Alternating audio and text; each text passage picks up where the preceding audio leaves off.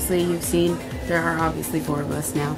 Um, it's shaped us and it's just helped us make like become stronger and closer within each other. Um, and we've had each other to lean on. So at the end of the day, it's us against the world.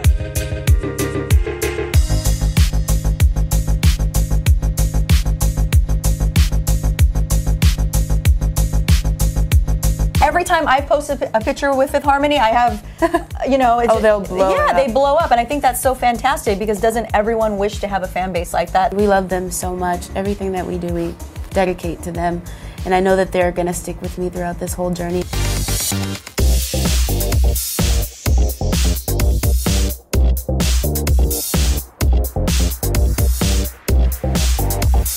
You have been traveling. You were in Asia on tour with Fifth Harmony. How is it that you haven't been cracking under the pressure? You seem to have a smile on your face week after week. I honestly, I just have to stay present. I think that that's what helps. Sometimes when I tend to overthink or think too far ahead, that's when it gets Yeah. really bad.